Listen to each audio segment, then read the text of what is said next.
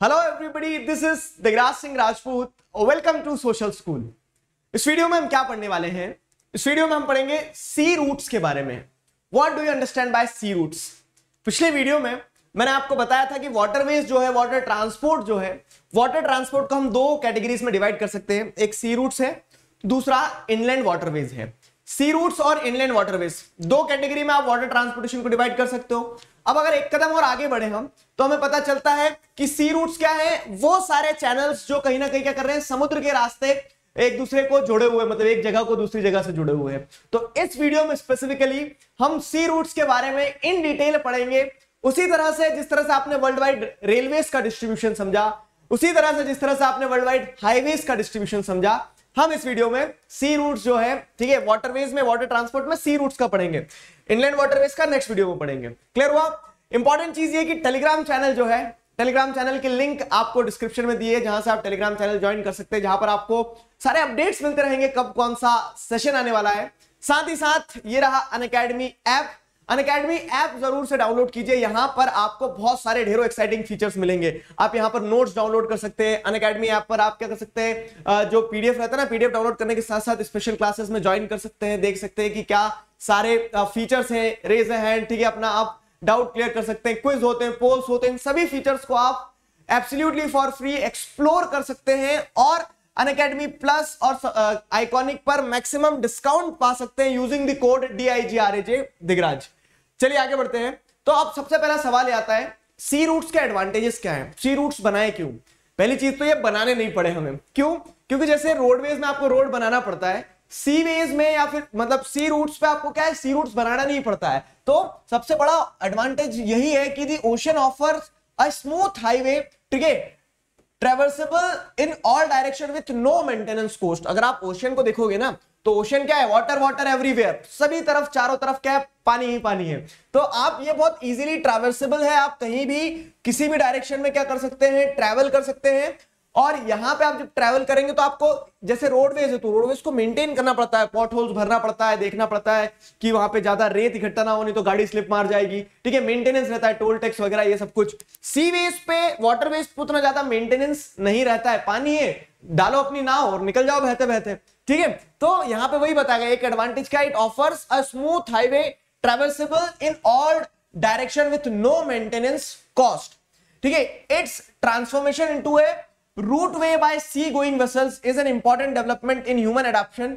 To the physical environment अब क्या हो रहा है कि जैसे अगर आप देखेंगे कि ह्यूमन ह्यूमन इन्वायरमेंट में जैसे अगर मतलब फ़िज़िकल इन्वायरमेंट में आप देखेंगे पानी आज से नहीं रहा है हमेशा से रहा है लेकिन उस पानी का उन सीवेज का आ, सी रूट्स का इस्तेमाल करना ट्रांसपोर्टेशन के लिए एक बहुत बड़ा अपने आप में ह्यूमन सिविलाइजेशन का डेवलपमेंट दर्शाता है। Compare to the land and air ocean transport is cheaper means of haulage haulage मतलब क्या? केयरिंग ऑफ़ लोड्स जैसे आप देख रहे हो ना ये एक, क्या है बड़ा सा सी वेसल आपको देखने को मिल रहा है कार्गो शिप देखने को मिल रहा है। इसमें जितना सामान भरा है, इतना सामान आप एयरवेज के थ्रू ले जाओगे ना तो आप एकदम कंगाल हो जाओगे, ठीक है? इतना ही सामान आप लैंड ट्रांसपोर्टेशन के थ्रू ले जाओगे टाइम भी ज़्यादा लगेगा कॉस्ट भी ज़्यादा लगेगी। लेकिन in terms of volume of goods ठीक है waterways is the cheapest means of transportation ये उसका सबसे बड़ा एडवांटेज होता है कि compare to the land and land and air transportation ocean transport is cheaper means of haulage ठीक है? Cheaper means of haulage of bulk material over long distance from one continent to another बड़े बड़े मतलब for example क्या USA से India को सामान आना है? अब यूएसए से इंडिया आप एयरवेज के थ्रू लाओगे, इतना सामान लाने में वही बोल रहे हैं कि पूरे ट्रंप के और जो बाइडन के सबके पैसे खत्म हो जाएँगे। लेकिन क्या होता है मर्चेंट नेवी वगैरह जिस अगर आप देखते हैं ना तो वो क्या काम रहता है उनका कि वो इतना सारा सामान एक साथ में ला सकते हैं, जो कि उसकी कॉस्ट को कॉस्ट ऑफ़ ट्रांसपोर्टेशन को बहुत रिड्यूस कर देता है। So this is the advantage this is the one of the biggest advantage समझ में आया? अब फिर क्या वही रूट कंस्ट्रक्शन की आपको रोड वोड बनाना जैसे झंझट नहीं कोई, बस उतारो समुद्र, जहाँ जहाँ जो है समुद्र में उतारो और चले चलो। क्लियर हुआ?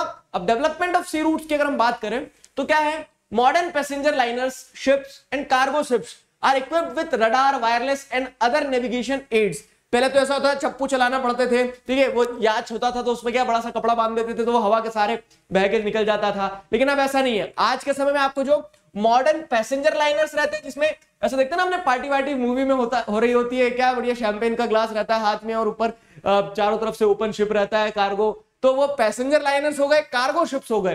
कार्गो शिप्स में मतलब क्या जाएगा, आपके सारे सामान भर के ले जाने वाली जो गाड़ी रहती है ना, मालगाड़ी टाइप से। तो ये जो आप देखोगे, आज के समय में these are equipped with radar wireless and other navigation aids तो ये वेल इक्विप्ड है टेक्नोलॉजिकली क्या कहेंगे कि वेल टेक्नोलॉजिकली साउंड आपको इस तरह का क्या देखने को मिलेगा? सी रूट्स के थ्रू ट्रांसपोर्टेशन देखने को मिलेगा. The development of refrigerated chambers for perishable goods tankers and specialise ships have the cargo transport अब क्या हो रहा है? तो देखो ह्यूमन सिविलाइजेशन की एक बहुत इंपॉर्टेंट चीज़ मैं आपको बताता हूँ। कि जैसे जैसे समय बीतता चले गया ना, वैसे वैसे हम डेवलप होते चले गए, वैसे वैसे एडवांस होते चले गए। आज आप जो देख रहे हैं, आज से शायद 20 साल बाद हम और पता नहीं कितने एडवांस हो जाएँगे वी नेवर नो ठीक है वी नेवर नो तो वही चीज़ यहाँ पे बताई गई है क्या कि जैसे refrigerated chambers for perishable goods tankers specialise ships ये सारी चीज़ें से भी आपको क्या देखने को मिलता है कि आपने देखा होगा ना कि जैसे अब क्या होता है कि पहले हिस्ट्री की क्लासेस में आपने पढ़ा भी होगा और क्या पहले जो एनिमल्स को ट्रांसपोर्ट किया जाता था तो उन्हें ज़िंदा ले जाया जाता था। क्यों ज़िंदा ले जाता था? क्योंकि आप मीट को ट्रांसपोर्ट नहीं करते तो ज़िंदा ले जाया जाता था फिर उधर हलाल किया जाता था। लेकिन क्या होता है जैसे ही रेफ्रिजरेटेड शिप्स वगैरह डेवलप हुए तो उसके चलते क्या है? आ, उसके चलते जो परिशेबल गुड्स होते हैं ठीक है? खास करके जैसे वेस्टर्न कंट्रीज़ में मीट वगैरह ये सारी चीज़ें होता है तो उसे अब क्या किया जाता है? उसे रेफ्रिजरेटेड रख के ये जो लंबी जर्नी होती है किस चीज़ की समुद्र के रास्ते उसके लिए वो आ, कह सकते हैं कि सूटेबल बन जाता है। समझ में आप तो इस तरह से with development of refrigerated chambers for perishable goods tankers and specialise ships has also improved cargo transport the use of containers has made cargo handling at world major port easier ठीक है? यहाँ पे क्या हो रहा है? The use of containers had made cargo handling at world major ports easier क्या हो रहा है कि कार्गो हैंडलिंग जैसे अगर आप देखेंगे तो बड़े बड़े पोर्ट्स जैसे मुंबई हो गया, चेन्नई हो गया, हमारी कंट्री कुछ ऐसे पोर्ट्स है जहाँ पे आप क्या देख रहे हैं? बहुत आसानी से बल्क में जो वॉल्यूम ऑफ़ गुड्स आ रहा है, उसे हैंडल किया जा रहा है, जो कि बहुत बहुत ही क्या है, अपने आप में एनहेंस्ड टेक्नोलॉजी टेक्नोलॉजिकली एनहेंसमेंट का एक प्रूफ है। अब अगर हम बात करें मेजर सी रूट्स की, समझ में आएगा देखो सी रूट्स कैसे ट्रांसपोर्टेशन है क्या एडवांटेजेस सी रूट्स के बारे में आपने थोड़ा समझ लिया। अब अगर वर्ल्ड वाइड हम देखें कि किस तरह से major sea routes world world wide spreaded है तो वो चीज़ आपको समझना होगी कि वर्ल्ड वाइड जो स्प्रेड है मेजर सी रूट्स का वो कुछ इस तरह का है। ये नेटवर्क में जैसे अलग अलग तरह से बताया गया है। आई डोंट नो आपको कितना विजिबल है ये, लेकिन आपकी बुक का ही मैप है। तो जैसे आप ये हो गया, एक सी रूट एक सी रूट ये हो गया, एक सी रूट ये हो गया, ठीक है? तो कुछ मेजर लाइन है, कुछ मेजर लाइन है जहाँ पे ट्रांसपोर्टेशन हो रहा है गुड्स का पैसेंजर्स का। Most of the time passengers travel मतलब जो शॉप के लिए ट्रैवल करते हैं, वही ट्रैवल करते हैं। ठीक, बाकी अधिकतर गुड्स को ही ट्रांसपोर्ट किया जाता है सी रूट्स के थ्रू क्योंकि it is the cheapest means of transportation when it comes to volume of goods ठीक है। तो उस तरह से क्या ये मेजर सी रूट्स कुछ है इंपॉर्टेंट सी रूट्स इनके बारे में एक एक करके पढ़ते हैं। Northern Atlantic sea routes the northern Atlantic sea routes की अगर हम बात करें। नदन एटलांटिक सी रूट्स क्या है देखो? तो एटलांटिक ओशियन आप जानते हैं, ये रहा। एटलांटिक ओशियन ठीक है। एक्वामैन यहीं से निकल के आया था आई गेस ठीक। अब यहाँ आप जैसे देखोगे तो अटलांटिक ओशियन में जो नॉर्थ वाला पार्ट है ये। ये नदन एटलांटिक ओशियन एक इंपॉर्टेंट सी रूट हो जाता है। क्यों? क्योंकि वर्ल्ड के जो मोस्ट इंडस्ट्रियलाइज रीजन है, वो यहीं पे मिलेंगे आपको। यूएसए वगैरह वाला पूरा पार्ट जोड़ दिया और इधर क्या है, पूरा का पूरा वेस्टर्न यूरोप जोड़ दिया ये। ठीक है? तो ये वाला जो रूट है बेसिकली ये वाला रूट यहाँ पे आपको देखने को मिलता है, देखो ये। ठीक है? ये वाला रूट जो है पूरा, ये ये नहीं, ये तो पैसिफिक ओशन में आ गए हम। इधर आओ। ठीक है? ये वाला ये वाला रूट जो है, ये वाला जो रूट है ना तो जैसे लंदन हो गया ठीक न्यूयॉर्क हो गया, पनामा हो गया, कोलोन हो गया तो ये वाला जो पूरा रीजन है, ये वाला रीजन में आपको क्या देखने को मिलेगा? नदर एटलांटिक सी रूट कहलाएगा ये वाला रीजन समझ में आई मेरी बात? ये नदर एटलांटिक सी रूट हो गया आपका। तो this links north eastern USA ये पूरा north eastern USA and north western Europe north western Europe मतलब ये वाला पार्ट ये नॉर्थ वेस्टर्न यूरोप इसे जोड़ के रखता है ये वाला सी रूट ठीक है? The two industrially developed region of the world are connected by the northern Atlantic sea routes is that clear the foreign trade over this route is greater than that of rest of the world uh, combined. ठीक है? अब क्या होता है? पूरे world में जितना trade नहीं होता है ना उससे ज़्यादा क्या होता है? फॉरेन ट्रेड इस रूट के ऊपर होता है क्योंकि मैंने बताया हाईली इंडस्ट्रियलाइज रीजन जो उनके बीच में कनेक्टिविटी डेवलप हो रही है यहाँ पे। क्लियर हुआ? One fourth of the world foreign trade moves on this route one fourth of the world foreign trade ठीक है? वर्ल्ड का 25 परसेंट फॉरेन ट्रेड जो है इस रूट के थ्रू मूव होता है। This proves that this route is one of the most important route this route is one of the most important sea routes in the world. ठीक है? It is therefore the busiest in the world and otherwise called the big trunk route ठीक है? Grand trunk road के बारे में आपने पढ़ा है? ठीक है? जो इंडिया में हाईवे है पूरा का पूरा आ, कह सकते हैं नॉर्थ इंडिया में स्प्रेड किया हुआ है शेरशाह सूरी मार्ग के टाइम पीरियड से।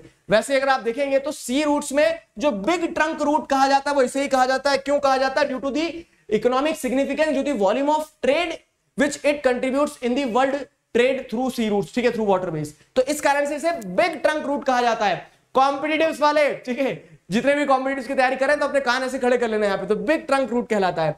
Both the coast have highly advanced ports and harbour harbour facilities ठीक है। तो हार्बर और पोर्ट्स जो है तो बहुत बेहतरीन तरह से क्या है पोर्ट हैंडलिंग जो है पार्किंग वार्किंग की व्यवस्था उत्तम है यहाँ पे। ठीक, अगला देखें तो the Mediterranean Indian ocean sea route Mediterranean Indian ocean देखो the name itself is explanatory कि मेडिटेरेनियन रीजन से इंडियन ओशियन तक जुड़ा हुआ है। ठीक है? अब यहाँ जैसे अगर आप देखेंगे तो मैं आपको एक बेसिक थोड़ा सा डायग्रामेटिक एक्सप्लेनेशन देता हूँ मैप पे। ये मेडिटेरेनियन ओशियन है। ये मेडिटेरेनियन ओशियन से निकल के पूरा ये इंडियन ओशियन यहाँ तक ये पूरा, ठीक है स्ट्रेट ऑफ़ मलक्का वगैरह, ये वाला पूरा पार्ट जो है, ये आपका क्या जाएगा? मेडिटेरेनियन इंडियन ओशियन रूट से। और इसकी सिग्निफिकेंस बहुत ज़्यादा है। क्यों? अभी सब्सिक्वेंटली समझ में आएगा आपको। इसकी सिग्निफिकेंस बहुत ज़्यादा है, बहुत ज़्यादा ऐसे है कि इसने क्या कर दिया? वर्ल्ड में ट्रांसपोर्टेशन को ट्रांसपोर्टेशन के बहुत बड़े डिस्टेंस को रिड्यूस कर दिया था। कैसे मैं समझाता हूँ अभी देखो। तो this sea route passes through the heart of old world and serve more countries and people than any other route ठीक है? सबसे ज़्यादा कंट्रीज़ को कनेक्ट करता है सबसे ज़्यादा लोगों को कनेक्ट करता है। क्यों? क्योंकि आप देखो तो ये Europe Asia South East Asia पूरा पैसिफिक तक निकल सकते हो ये रास्ते से आप। तो बड़ा रूट है ये। Port Said Aden Mumbai Colombo Singapore are some of the most important port in this route देखो, यहाँ से चालू करोगे तो पोर्ट साइड यहाँ पे ठीक है पोर्ट साइड के बाद में क्या है? पोर्ट साइड एडन ठीक है Port Said Aden Mumbai Port Said Aden निकला है। पोर्ट साइड एडन एडन के बाद में मुंबई इधर के, इधर ठीक है, ये मुंबई हो गया आपका। मुंबई के बाद में कोलंबो कोलंबो के बाद में इधर सिंगापुर सिंगापुर सिंगापुर होते हुए ऐसे निकल जाओगे। तो मेजर इंपॉर्टेंट देखो ना, कितने सारे इंपॉर्टेंट दीज आर जो जो अभी नाम बताया ना आपको पोर्ट साइड हो गया एडन हो गया मुंबई हो गया सिंगापुर हो गया कोलंबो हो गया ये ऐसे पोर्ट सिटीज़ हैं ये ऐसे पोर्ट सिटीज़ हैं जिनकी बहुत ज़्यादा इकोनॉमिक सिग्निफिकेंस है। ठीक है वर्ल्ड वाइड इनका लोहा माना जाता है तो इन सारे पोर्ट uh, सिटीज़ को कनेक्ट करते हुए जाता है। The construction of Suez Canal has greatly reduce the distance and time as compare to the earlier routes through the Cape of Good Hope which was longer than the route through Suez Canal Suez Canal अब मैं आपको ये समझाता हूँ कैसे। कहा गया वो? ये रहा। एक हाँ ये मैप आ गया। देखो, क्या होता था? पहले जैसे मान लो किसी को कहाँ से निकलना था, पहले किसी को ब्रिटेन से निकलना रहता था। तो वो कैसे निकलता था? पहले ऐसे जाता था घूम के और फिर ऐसे इंडिया आते थे। ठीक है? लॉन्गर रूट है। अब शॉर्टकट यहाँ पे क्या बन गया पता है? जब स्यूज कैनाल बनाई गई, अभी स्यूज कैनाल के बारे में आगे पढ़ेंगे। ये यहाँ बनाई गई स्यूज कैनाल मतलब मेडिटेरेनियन सी को रेड सी से जोड़ते हुए रेड सी से जोड़ते हुए सीधे। अब क्या होता है? अब आपका डिस्टेंस अब आपका डिस्टेंस ये हो गया। अब आपका डिस्टेंस इतना रिड्यूस हो गया। ठीक है तो इसने टाइम कॉस्ट हर चीज़ बताइए आई गेस 1956 86 ऐसा नहीं 1856 या उसी टाइम पीरियड में 1856 52 I am not exact about it लेकिन उसी टाइम पीरियड में, ठीक है, उसी टाइम पीरियड में स्विस कैनाल बनाई गई थी और इसका फ़ायदा ये रहा कि स्विस कैनाल ने इस तरह से क्या कर दिया? डिस्टेंस को बहुत ज़्यादा रिड्यूस कर दिया। स्विस कैनाल ने डिस्टेंस को बहुत ही ज़्यादा रिड्यूस कर दिया। वही पॉइंट यहाँ पे बताया गया तो the construction of Suez Canal has greatly reduce the distance and time as compare to the earlier route through the Cape of Good Hope पहले रास्ता क्या रहता था? केप ऑफ़ गुड होप ये रहा। केप ऑफ़ गुड होप ये रहा। ये केप ऑफ़ गुड होप रहता था। तो पहले ऐसे आना पड़ता था यहाँ। यहाँ चाय पानी नाश्ता होता था, फिर उसके बाद में आगे बढ़ते थे। ठीक है? तो उस रास्ते को अब रिड्यूस कर दिया पूरा स्यूज कैनाल ने ऐसा। समझ में आई मेरी बात? ये एडवांटेज रहा स्यूज कैनाल के बनने का। ठीक? Which was longer than the route through Suez Canal clear हुआ? अब अगर आगे और पढ़ते हैं तो this sea route passes through the heart of ये हो गया। ठीक है? अब Cape of Good Hope sea route दो सी रूट समझा दिए मैंने आपको. North northern Atlantic sea route समझा दिया. नदन अटलांटिक में जैसे आपने देखा, दो इंडस्ट्रियल रिलेशन को जोड़ता हुआ है. फिर मेडिटेरियन से इंडियन ओशन को जोड़ता हुआ एक सी रूट हो गया.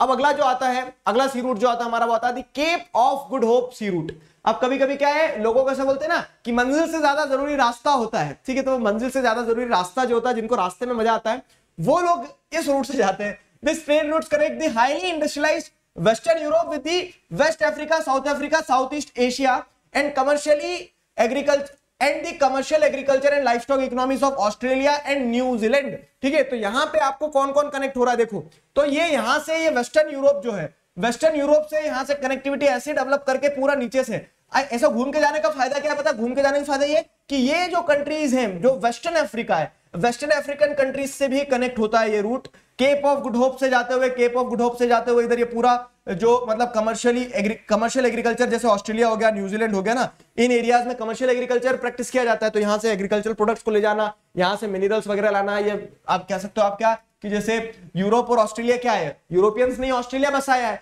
तो उस तरह से क्या है? ये वाली जो कनेक्टिविटी है, ये एक रूट भी है। इस रूट का नाम क्या है? Cape of Good Hope Cape of Good Hope sea route क्यों कहा जाता है? क्योंकि यहाँ पे आप साउथ अफ्रीका में ये जो पॉइंट देखोगे ना तो ये केप ऑफ़ गुड होप कहलाता है केप टाउन के पास वाला। ठीक है? तो इस कारण से ये पूरा का पूरा ऐसा रूट रूट है हमारा। समझ में आया? फिर क्या है? Volume of trade and traffic between both east and west Africa is on the increase due to the development of rich natural resources such as gold, diamond, copper, tin, groundnut, oil palm, coffee and. और आप जैसे देखोगे तो waste Africa को आप connect कर रहे हो तो इस कारण से क्या है? वेस्ट अफ्रीका को जब आप कनेक्ट कर रहे हो तो यहाँ से जो वेस्ट अफ्रीका जिस चीज़ के लिए जाना जाता है मिनरल्स वगैरह थोड़े थोड़े ठीक है? वो सारा सब कुछ आपको इस रूट में ट्रेड होते हुए देखने को मिल जाएगा। इस रूट से ये सारी चीज़ें ट्रेड की जाती है। समझ में आया? अब क्या है? The southern Atlantic sea route northern Atlantic sea route देख लिया था। अब सदन पे आ गए। तो सदन में क्या जाएगा? जैसे नदन अटलांटिक में आपने देखा था east of USA east of North America से वेस्ट ऑफ़ यूरोप कनेक्ट होता था। ये नदन अटलांटिक ठीक है? नदन अटलांटिक सी रूट था। अब आप इधर आओगे तो क्या है? सदर्न अटलांटिक सी रूट जो है, ठीक है सदर्न अटलांटिक सी रूट में क्या जाएगा? सदर्न अटलांटिक सी रूट में ये वेस्ट अफ्रीका हो गया आपका वेस्टर्न यूरोप हो गया आपका, ये वेस्टर्न यूरोप हो गया। इसकी कनेक्टिविटी साउथ अमेरिका की कंट्रीज़ से है, जैसे ब्राज़ील अर्जेंटीना अब अर्जेंटीना में क्या देख रहे हैं? पंपास एग्रीकल्चरली फर्टाइल एरिया है तो वहाँ से पूरा का पूरा ट्रांसपोर्टेशन कहा? वेस्टर्न यूरोप में अफ्रीका में। ये वाला जो एक कनेक्टिविटी रूट है, ये क्या कहलाएगा? सदर्न अटलांटिक सी रूट्स नाम से सब सबको सब समझ में आना चाहिए, ठीक है? सदर्न अटलांटिक सी रूट्स ये हो गए।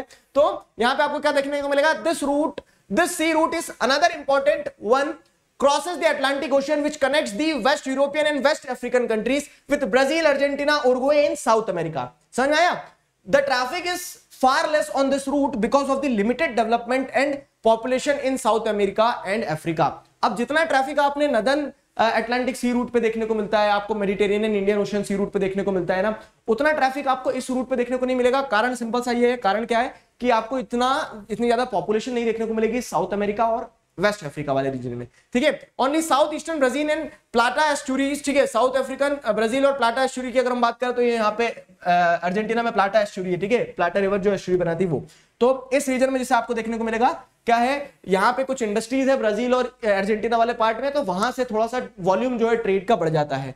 There is there is also little traffic on the route between Rio de Janeiro and the Cape Town because both South America and Africa have similar products and resources फिर क्या है? फिर जैसे अगर आप देखोगे तो ये क्या हो रहा है? यहाँ पे रियो डी जेनेरियो से केप टाउन ये वाला जो रूट है ना, यहाँ पे भी बहुत कम ट्रैफ़िक देखने को मिलता है आपको। क्यों ट्रैफ़िक कम देखने को मिलता है? ट्रैफ़िक पुलिस वाले हैं क्या? नहीं। यहाँ ट्रैफ़िक कम देखने का कारण क्योंकि रिसोर्सेस अब इनके पास भी वही रिसोर्सेज इनके पास भी वही रिसोर्सेज तो बोला क्या करेंगे बदल के? ठीक है? बेहतर है कि क्या करो? अपन ट्रेड ना करें ज़्यादा। तो ट्रेड कहाँ होगा? एक्सचेंज कहाँ होगा? कमोडिटीज का एक चीज़ तो आपको नॉलेज रखना होगा कि जहाँ किसी चीज़ का सरप्लस होगा, जहाँ किसी चीज़ का डेफिसिट होगा तो सरप्लस उठ के डेफिसिट की जगह चले जाएगा। समझ में आया? डेफिसिट डिमांड करेगा सरप्लस की। क्लियर हुआ? वो चीज़ रहती है। समझ में आया? तो this was the story about southern Atlantic sea routes अगला देखें नॉर्थ पैसिफिक सी रूट अब पैसिफिक ओशियन पे आ गए आप। क्या है ये मैप देखोगे तो अटलांटिक नॉर्थ हो गया साउथ हो गया, ठीक है इंडियन ओशियन हो गया। ठीक इंडियन ओशियन होने के बाद में क्या केप ऑफ़ गुड वाला रूट हो गया। ये आओ जरा Pacific ocean biggest ocean in the world largest ocean in the world ठीक है? तो पैसिफिक ओशियन में भी आप देखोगे ना तो नॉर्थ पैसिफिक ओशियन में एक अलग सी रूट डेवलप होंगे, ठीक है? नॉर्थ पैसिफिक ये गिरगिट की तरह पता नहीं क्यों रंग बदल लेता अपने आप चलते चलते ठीक है? और यहाँ जैसे अगर आप देखोगे तो साउथ पैसिफिक ओशियन में अलग सी रूट्स होंगे। तो इस तरह से नॉर्थ पैसिफिक और साउथ पैसिफिक दोनों में अलग अलग सी रूट्स का आपको क्या देखने को मिल जाएगा? डेवलपमेंट देखने को मिलेगा। तो पहले हम बात करते हैं नॉर्थ पैसिफिक सी रूट की। तो trade across the vast north Pacific ocean moves by several routes which converge at Honolulu ठीक है? अब ये होनोलुलु क्या है? ये समझाता हूँ मैं आपको। यहाँ आप देखोगे ना पैसिफिक ओशन में एक होनोलुलु करके आइलैंड है। होनोलुलु आइलैंड जो है तो ये क्या करता है? ये एक इंपॉर्टेंट डेस्टिनेशन बनता है इस पूरे के पूरे नदन पैसिफिक सी रूट जो है उसके लिए। मतलब ऐसे बोलते हैं ना जैसे आप आप मान लीजिए क्या अपने गाँव से अपने शहर तक का एक कोई बस रूट चलता है तो आपको पता होगा कि बीच में एक ढाबा है, वो क्या बन गया है, वो एक स्टॉपिंग पॉइंट बन जाता है कि वहाँ सारी बसें रुकती है चाय पानी नाश्ता होता है। ठीक है उसी तरह से क्या है कि जैसे देखो कि होनेलुलु एक जो है तो इंपॉर्टेंट डेस्टिनेशन बन जाता है इंपॉर्टेंट आइलैंड पोर्ट बन जाता है, जिसका काम क्या है कि नदन पैसिफिक ओशन में जितने भी नदन पैसिफिक ओशन में जितने भी सी रूट से उन्हें कनेक्ट करता है वो। ठीक है? अगर आप बात करते हैं यहाँ पे तो direct route on the great circle links Vancouver and Yokohama and reduces the travelling distance 2480 kilometre by half अब क्या हो रहा है? आप जिसे देखेंगे तो great circle links Vancouver and Yokohama Vancouver आपको पता है कहाँ है? कनाडा ठीक है? अलास्का वाले रीजन से लगा हुआ है। फिर उसके बाद में क्या? योकोहामा जापान में। तो अगर आप इसको मैप पे देखेंगे तो ये वैंकोवर हो गया आपका, ठीक है? वैंकोवर एकदम मतलब अलास्का तो फिर ऊपर निकल जाएगा। ये वैंकोवर से योकोहामा ये रास्ता जो है, ये रास्ता आपने क्या कर दिया? बहुत ज़्यादा रिड्यूस कर दिया। अगर बाय लैंड जाते तो ऐसे घूम के जाना पड़ता है इधर से, ऐसे, ठीक है? तो वो वो डिस्टेंस को बहुत ज़्यादा रिड्यूस कर दिया उसने। योकोहामा से वैंकोवर को कनेक्ट कर दिया। साथ ही साथ क्या है? This sea routes links the ports of west of north America with those of Asia west of north America with those of Asia मतलब हो जाएगा। तो वेस्ट ऑफ़ नॉर्थ अमेरिका ये सारे पोर्ट्स ठीक है? और एशिया के ये सारे पोर्ट्स जैसे Shanghai Hong Kong Yokohama Singapore इन सबको जोड़ दिया। वैंकोवर सैन फ्रांसिस्को ठीक है? पनामा होनोलुलु इन सबने। समझ में आया तो ये कनेक्टिविटी है, पूरा का पूरा नदन पार्ट जो है पैसिफिक ओशन का वो आपस में जुड़ा हुआ है। तो दीज आर कौन कौन से पोर्ट्स हैं? तो जैसे वैंकोवर हो गया सियाटल हो गया, ध्यान आ रहा है सियाटल से भी हमने ग्लोबलाइजेशन अब देखो पॉलिटिकल साइंस में आपने पढ़ा है कनेक्ट करो। क्या कि सियाटल में आपने देखा था वर्ल्ड ट्रेड ऑर्गेनाइजेशन की मीटिंग हुई थी, ठीक है? दंगे वंगे हो गए थे। तो उस तरह से चीज़ें, आप जो भी पढ़ते हो ना तो सिर्फ़ उसे वहाँ पे सेक्लूजन में मत पढ़ा करो।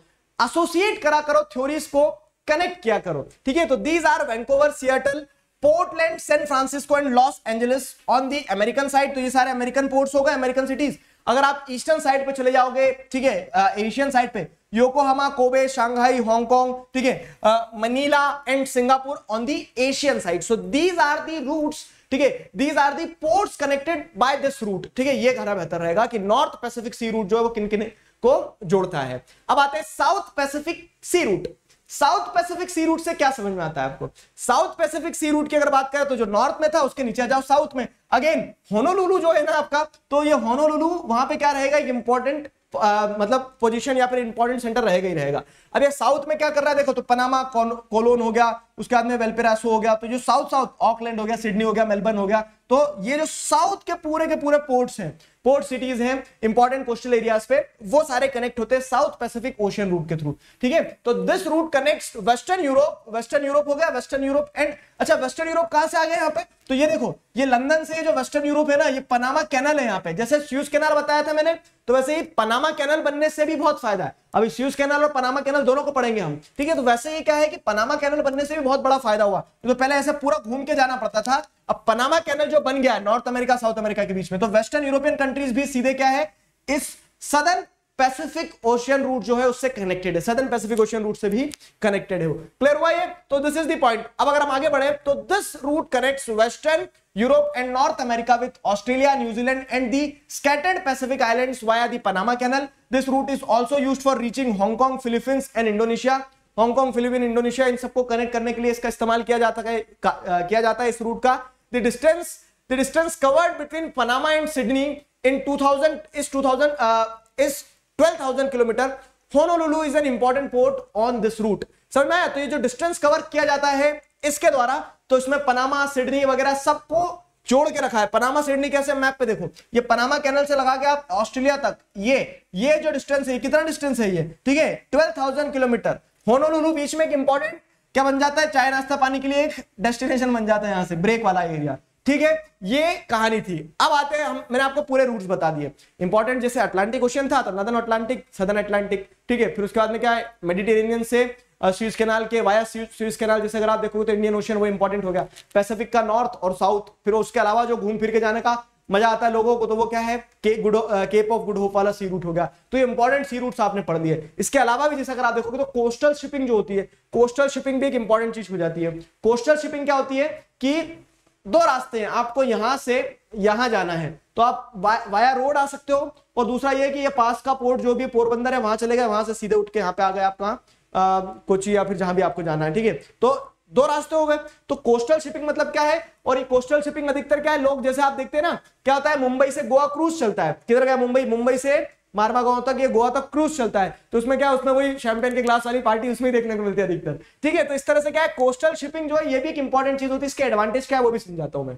तो coastal shipping it is obvious that water transport is cheaper mode no doubt water transport cheaper mode है। ठीक है when compared with land transport तो अगर मान लो कि बहुत सारा बल्क में सामान पहुंचाना तो लैंड ट्रांसपोर्टेशन के थ्रू पहुंचाओगे उससे बेहतर ये कि नियरेस्ट पोर्ट के पास पहुंचाओ वहाँ से नियरेस्ट पोर्ट के पास पहुँचा दो। तो इस तरह से आपका क्या हो जाएगा?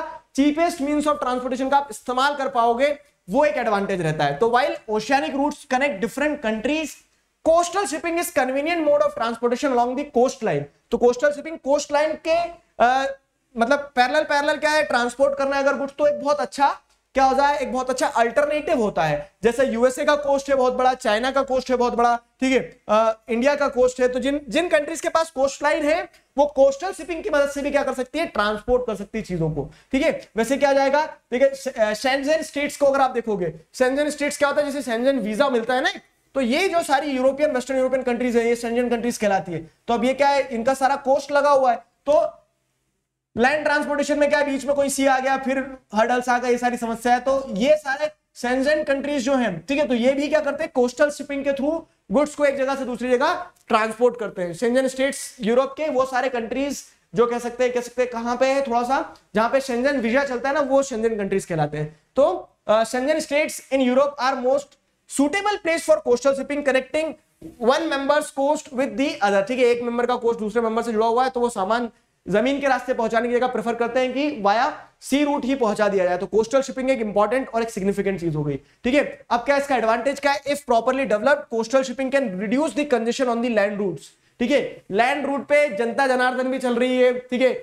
जानवर भी जा रहे हैं। वहाँ पे आप देख रहे हैं तो क्या हो रहा है कि रोड भी खराब हो रहे हैं, सब कुछ दिक्कत है। ठीक है? गाड़ी, ट्रक पलट गया तो बस बैठे रहो। लेकिन यहाँ क्या है? यहाँ जैसे अगर आप देखोगे तो अगर प्रॉपरली डेवलप किया जाए कोस्टल शिपिंग को तो उससे आपको क्या मिल सकता है? एक बहुत बड़ा एडवांटेज मिल सकता है कोस्टल शिपिंग से। क्या बहुत बड़ा एडवांटेज मिल सकता है? वो ये मिल सकता है कि आप क्या कर सकते हो, जो कंजेशन रोड ट्रांसपोर्टेशन में आप फेस करते हो, उसको आप एलिमिनेट कर सकते हो। Is that sea routes the only required condition is that that coastal shipping should be properly developed ठीक है? अब आता है शिपिंग कैनल्स ठीक है? तो कोस्टल शिपिंग के बाद में एक और इंपॉर्टेंट चीज़ जो है, वो है शिपिंग कैनल्स की। शिपिंग कैनल्स क्या होती है? शिपिंग कैनल्स मतलब कि कुछ कैनल्स, कुछ नहर ऐसी बना दी गई। नहर आपके गाँव में जो पानी देने के लिए दी जाती है, उतनी बड़ी नहर नहीं, बहुत बड़ी बड़ी नहर, नदियों से भी ज़्यादा बड़ी बड़ी नहर बनाई गई है, ताकि क्या हो, ताकि डिस्टेंस को रिड्यूस किया जा सके, ताकि सी रूट्स को कनेक्ट किया जा सके। You have to guess the names ठीक है? अब आपको जो नाम है वो गेस करना है। क्या है? तो स्यूज कैनाल है और वो पनामा कैनाल है। तो दोनों कैनाल्स के हम बारे में समझते हैं, देखो। तो the Suez canal and Panama canals are two vital man made navigation canals और waterways which serves as a gateway for commerce for both eastern and western world. Eastern और वेस्टर्न वर्ल्ड जो है ना तो ऐसे करण अर्जुन की तरह जोड़ दिया ईस्टर्न और वेस्टर्न वर्ल्ड को किसने? शिपिंग कैनल्स ने, जैसे स्विस कैनल और पनामा कैनल ठीक है? तो अब स्विस कैनल और पनामा कैनल तो स्विस कैनल वर्ल्ड मैप पे मैं आपको समझा दू, यहाँ है। पनामा कैनल वर्ल्ड मैप पे ये यहाँ है। ठीक है? पनामा यहाँ पे पनामा सिटी और कोलोन के बीच में। ठीक है? तो ये दो इंपॉर्टेंट कैनल्स है, जिनके बारे में हम सब्सिक्वेंटली क्या करने वाले हैं? पढ़ने वाले हैं आगे इस वीडियो में। ठीक है, ये शिपिंग कैनल्स हो गए। तो देखो सी रूट्स में आपने क्या क्या पढ़ा? एक तो प्रोमिनेंट सी रूट्स पढ़ दिए ठीक है कोस्टल शिपिंग के बारे में पढ़ दिया और अगली चीज़ जो है कोस्टल शिपिंग के बारे में पढ़ने के बाद में अगली चीज़ जो आपने पढ़ ली तो ये शिपिंग कैनल्स के बारे में पढ़ लिया कि सी रूट्स मतलब शिपिंग कैनल्स में स्विस कैनाल और स्विस कैनाल के साथ साथ जो अगला पार्ट है वो पनामा कैनाल इनके बारे में पढ़ लिया।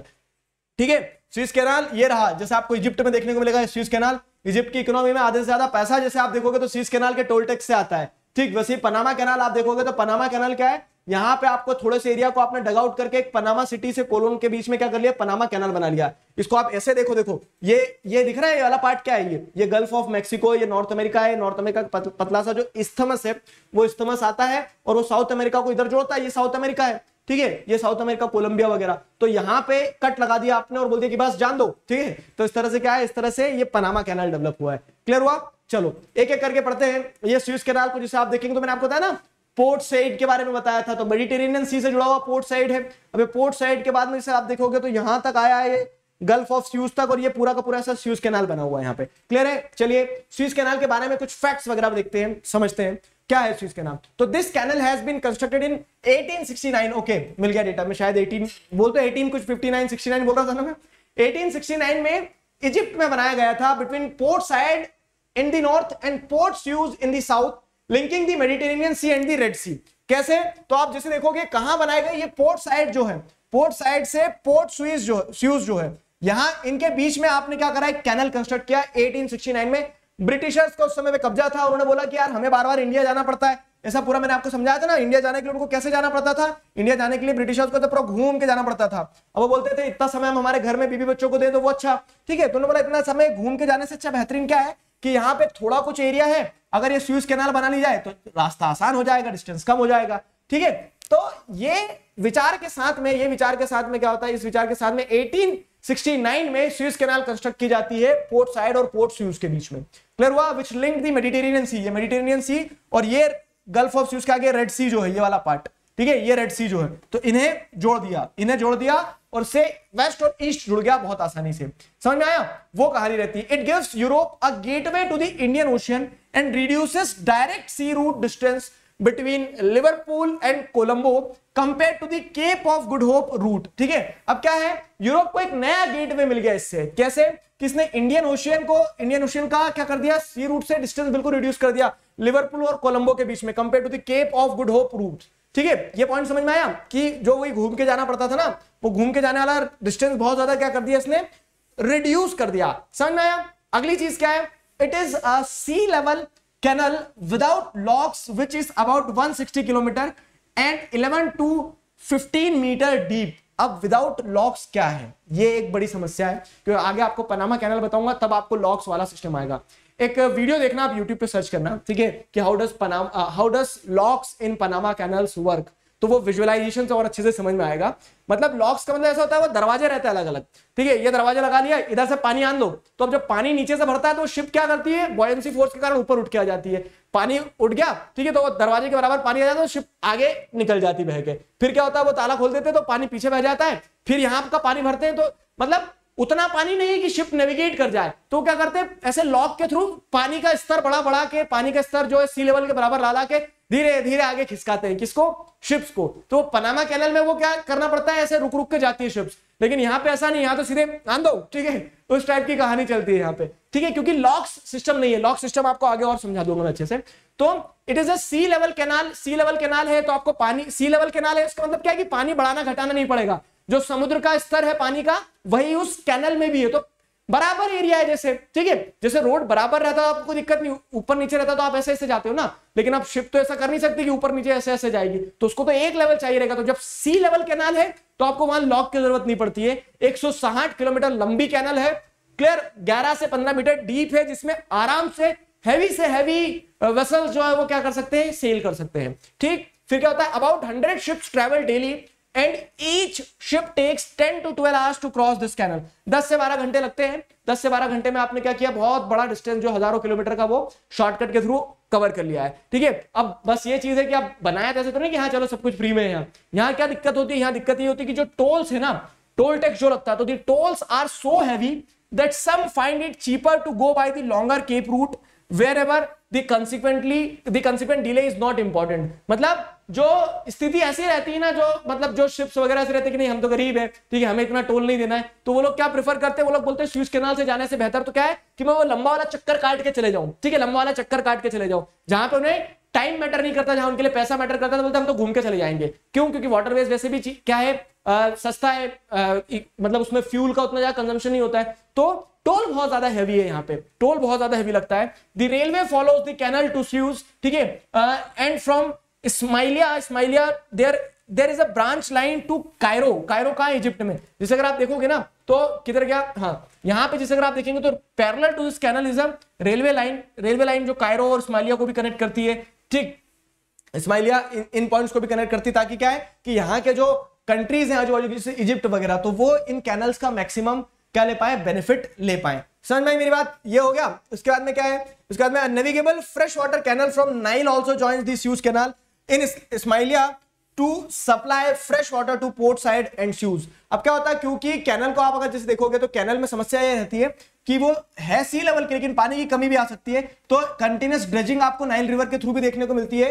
एक कैनल ऐसे भी कंस्ट्रक्ट करती है जो इनलैंड वाटरवे बन जाती है। ये तो सी रूट का पार्ट हो गया। एक कैनल इनलैंड वाटरवे का पार्ट भी बन जाती है। So these are some of the important points regarding Suez canal अब आते हैं पनामा कैनाल पे। तो पनामा कैनाल अगेन कहाँ पे देखो, ये नॉर्थ अमेरिका ये साउथ अमेरिका और ये नॉर्थ अमेरिका और साउथ अमेरिका को कनेक्ट करते हुए जो इस्तमस होता है। इस्तमस समझते हो? इस्तमस और स्ट्रेट दो चीज़ें होती है। अगर कोई वाटर बॉडी क्या करता है? अगर कोई वाटर बॉडी दो लैंडमार्क को सेपरेट करता है। For example for example India के केस में आप देखोगे। तो ये इंडिया है, ये श्रीलंका है और यहाँ पे हम क्या कहते हैं? पाल्क स्ट्रेट है। पाल्क स्ट्रेट मतलब क्या है? अगर कोई पानी की एक धार दो लैंडमार्क को सेपरेट करती तो स्ट्रेट कहलाती है। वैसे ही क्या होता है? वैसे ही अगर क्या होता है कि अगर दो वाटर बॉडीज के बीच में, जैसे अटलांटिक ओशन पैसिफिक ओशन दो वाटर बॉडीज के बीच में कोई लैंडमार्क अगर तो ज़मीन को जोड़ता है, ज़मीन को सेपरेट करेगा तो स्ट्रेट ठीक है? और जोड़ेगा तो क्या कहलाता है? इस्तमस कहलाता है। ध्यान रखना। तो अब यहाँ पे क्या बताया गया है? This canal connects the Atlantic ocean in the east to the Pacific ocean in the west Atlantic ocean in the east to the Pacific ocean in the west ठीक है? इन्हें आपस में जोड़ता है ये कैनल यहाँ पे कैनल बना हुआ है पनामा कैनल समझ में आया? इस्तमस ऑफ़ पनामा पे आपको पनामा कैनल देखने को मिल जाएगा। It has been constructed across the Panama isthmus between Panama city and the Colon by the US अब देखो क्या यहाँ पे पनामा सिटी और कोलोन दो अलग अलग जगह है। ठीक है? पनामा सिटी और कोलोन जो है, वो दो अलग अलग जगह है। जैसे ये रहा ये रहा कोलोन फाइन ये इधर चले जाओगे, इधर आपका साउथ अमेरिका है, इधर आपका नॉर्थ अमेरिका है। ठीक है?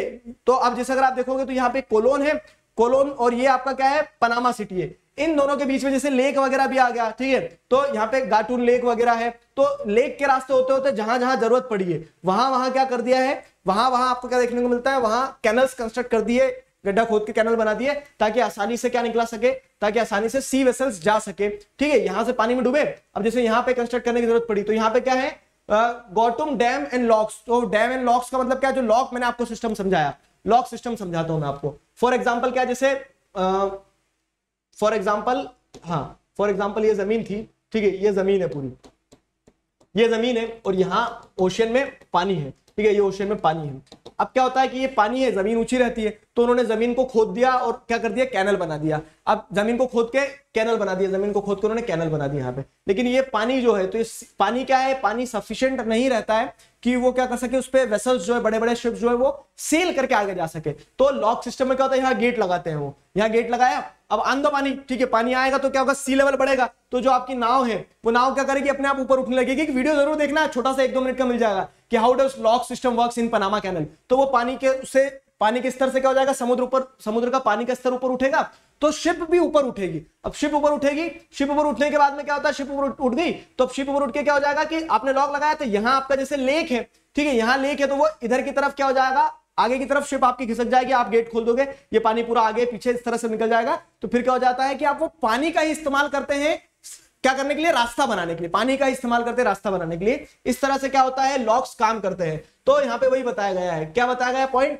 कि between Panama city Colon by the US government which purchase eight kilometre of area on either side तो यूएस गवर्नमेंट ने दोनों ही साइड पे आठ आठ किलोमीटर खरीद लिया और वहाँ पे क्या कर दिया? यूएस गवर्नमेंट ने ये पनामा कैनल बनाई ताकि उन्हें दिख रहा था। कि कमर्शियली ये डिस्टेंस रिड्यूस कर देगी तो उसकी सिग्निफिकेंस रहेगी। टोल वोल से पैसा कमाएँगे। पैसा ही पैसा होगा, बाबू भैया। उस टाइप की स्थिति थी यहाँ पे, ठीक है? तो the canal is about 72 kilometre long 72 kilometre long है ये, ठीक है? बीच बीच में लेक्स भी है और लॉक्स भी है। लेक्स फैसिलिटेट कर देते हैं, उनको वहाँ उतना खोदना कम पड़ा। और लॉक्स जो है तो लॉक्स के थ्रू क्या? जहाँ पानी का स्तर कम रहता है, वहाँ बढ़ा देते हैं। It involve a very deep cutting for a length of 12 kilometre 12 kilometre का एरिया ऐसा है जहाँ पे बहुत ज़्यादा खुदाई करना पड़ी। ठीक है जेसीबी की। तो जहाँ पे बहुत ज़्यादा खुदाई करना पड़ी it has six lock system and ship crosses the different levels 26 metre up and down तो ये लॉक सिस्टम से जब शिप्स क्रॉस करती है तो 26 मीटर अप एंड डाउन होते हुए क्या जाती है? शिप्स आगे जाती है up and down through these locks before entering the gulf of Panama ठीक है गल्फ ऑफ़ पनामा में पहुँचने से पहले ये इस तरह से क्या है? अलग अलग सिक्स लॉक्स के थ्रू पानी का स्तर जो है उससे ऊपर, आगे, नीचे, ऐसे खिसकता खिसकता आगे जाती है और इस तरह से वो अटलांटिक ओशन से पैसिफिक ओशन में डुबकी लगाती है। ठीक है तो ये थी पनामा कैनल अब पनामा कैनल के एडवांटेजेस की अगर बात करें, समझ में आ गया ना पनामा कैनल कहा है? एडवांटेजेस की बात करें तो it shortens the distance between New York and San Francisco by thirteen thirteen thousand kilometre by sea ठीक है thirteen thousand kilometre by sea कैसे? तो न्यूयॉर्क और सैन फ्रांसिस्को यहाँ समुद्र के रास्ते मतलब ज़मीन के रास्ते चले जाओ, दौड़ते दौड़ते। लेकिन क्या होता है, वही सस्ता ट्रांसपोर्टेशन कौन सा होता है? वाटरवेज तो वाटरवेज के लिए आपको पहले कैसे जाना पड़ता था? पूरा साउथ अमेरिका घूम के फिर ऐसे सैन फ्रांसिस्को पहुँचते थे आप। लेकिन उन्होंने जब पनामा कैनल बनाया तो पनामा कैनल ने यूएसए ने पहले ही देखा कि पहले तो उसे ही फ़ायदा होगा। कि अब न्यूयॉर्क से वो सीधा क्या कर दिया उन्होंने? तेरह हज़ार किलोमीटर का डिस्टेंस रिड्यूस कर दिया है। तेरह हज़ार किलोमीटर का डिस्टेंस कैसे? क्योंकि पहले ऐसे चक्कर मार के पूरा इधर जो साउथ अमेरिका है तो साउथ अमेरिका का चक्कर मार के जाना पड़ता था। समझ में आया? वो चीज़ रहती है। Likewise the distance between western Europe and the west coast of USA north eastern and central USA and the east and south Asia is shorted अब उसी के चलते क्या है? इसका फ़ायदा सिर्फ़ ऐसा नहीं है कि सिर्फ़ अमेरिका को ही मिला है। फ़ायदे की अगर बात करोगे तो सबके बीच में डिस्टेंस रिड्यूस हो गया है। मैप लाओ देखो, सबके बीच में कैसे, पहले इनको भी ऐसे घूम के जाना पड़ता था यूरोप से। यूरोप से लोगों को ऐसे घूम के जाना पड़ता था। ठीक है? अगर आप एशिया की बात करोगे तो पहले क्या था, एशिया में भी जैसे आप जाते थे तो एशिया में भी आपको क्या है, ऐसे घूम के इधर साउथ अमेरिका यहाँ आ जाएगा। ये साउथ अमेरिका तो साउथ अमेरिका का चक्कर काट के जाना पड़ता था। ठीक है? तो हर सेंस में कि वेस्टर्न यूरोप और वेस्ट यूएसए का डिस्टेंस रिड्यूस हो गया। एशिया की कनेक्टिविटी जो है, एशिया की कनेक्टिविटी जो है, पहले एशिया से मतलब कोई भी आता था तो ऐसे घूम के जाना पड़ता था, ठीक है? तो वो एशिया से कनेक्टिविटी क्या हो गई? कम हो गई। कनेक्टिविटी बढ़ गई सॉरी डिस्टेंस कम हो गया कनेक्टिविटी बढ़ गई। तो ये सारे एडवांटेज रहे हैं किस चीज़ के? ये सारे एडवांटेज रहे हैं किधर गया? हाँ ये सारे एडवांटेजेस रहे पनामा कैनल के, ठीक है? The economic significance of this canal is relatively less than that of Suez canal no doubt Suez canal जो है तो स्यूज कैनल क्या है? बिजिएस्ट रूट पे आता है, इस कारण से इकोनॉमिक सिग्निफिकेंस स्यूज कैनाल की ज़्यादा है टोल टैक्स भी वहाँ ज़्यादा लगता है, लेकिन फिर भी फिर भी however it is vital for the economies of Latin America Latin America की जो इकोनॉमीज हैं, ठीक है इनफैक्ट जैसे पनामा सिटी वगैरह तो उनकी तो इकोनॉमी जीडीपी में ही, वो टोल टैक्स का एक बहुत बड़ा कंट्रीब्यूशन रहता है। समझ में आया? तो this was the story about sea routes sea routes finally खत्म हुआ। आई नो लंबा लेक्चर था, क्योंकि हमने सारे सी रूट्स एक साथ पढ़ ली तो कनेक्टिविटी बनी रही। ठीक है? तो आपने सारे सी रूट्स पढ़े शिपिंग कैनल के बारे में पढ़ा, ठीक है? शिपिंग कैनल के साथ साथ में कोस्टल शिपिंग के बारे में भी पढ़ा। अब हम नेक्स्ट वीडियो में इनलैंड वाटरवेज के बारे में जानेंगे, समझेंगे। तो इनलैंड वाटरवेज के बारे में नेक्स्ट वीडियो में पढ़ते हैं। I hope you people enjoyed it मिलते हैं नेक्स्ट वीडियो में। Till then stay connected keep learning signing off with this together we can we will thank you thank you very much